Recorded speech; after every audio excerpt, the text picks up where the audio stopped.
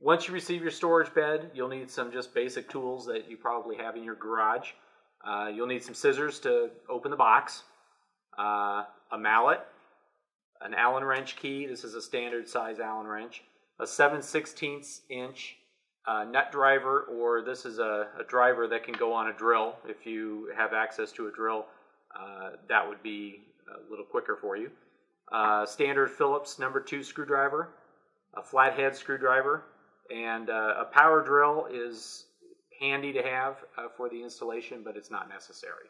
You can use a screwdriver.